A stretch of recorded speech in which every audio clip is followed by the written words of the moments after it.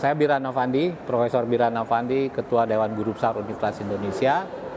Saat ini Dewan Guru Besar Universitas Indonesia sedang menyelenggarakan seminar Indonesia menjawab tantangan kepemimpinan menuju bangsa pemenang.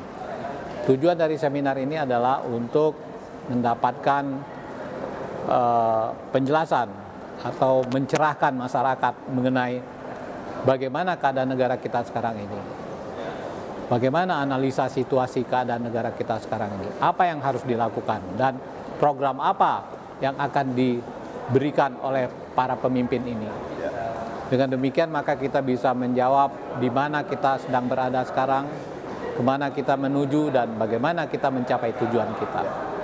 Dengan demikian diharapkan bahwa seluruh rakyat Indonesia termasuk kita semua akan menjadi lebih jelas mengenai apa yang kita hadapi dan apa yang kita tuju. Kita tidak ada unsur politik sama sekali, yang kita adakan adalah pendidikan politik untuk masyarakat.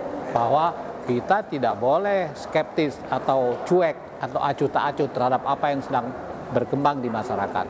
Untuk itu Universitas Indonesia memperlihatkan bahwa kita tidak tinggal diam. Ini adalah masalah yang menyangkut harkat hidup rakyat Indonesia secara keseluruhan.